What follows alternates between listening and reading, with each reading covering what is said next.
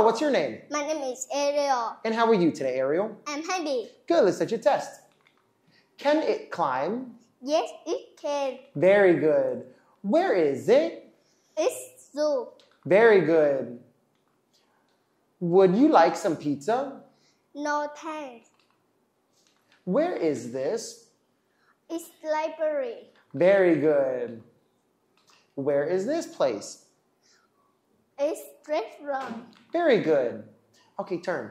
Have you ever been to a zoo? No, I haven't. What animals can climb?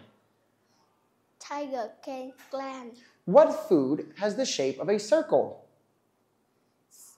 Go. It's uh, cooking. Good. What food do you want for breakfast tomorrow?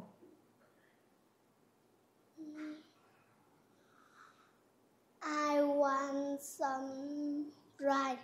Good. Where can you buy a teddy bear?